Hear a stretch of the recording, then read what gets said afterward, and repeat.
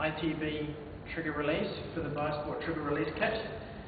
ITB is a band of connective tissue, it runs on the outer part of the thigh, it's quite sinewy, um, when it's really tight you'll feel it's quite fibrous, particularly down the lower part by the knee.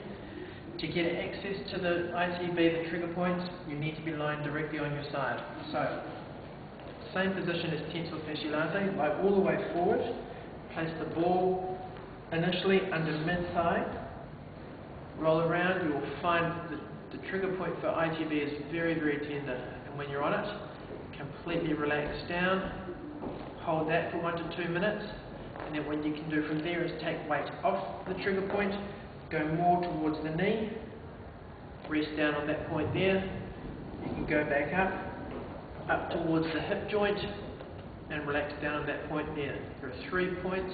Again, the key is to make sure your pelvis is absolutely vertical. Do not let yourself roll back or forward.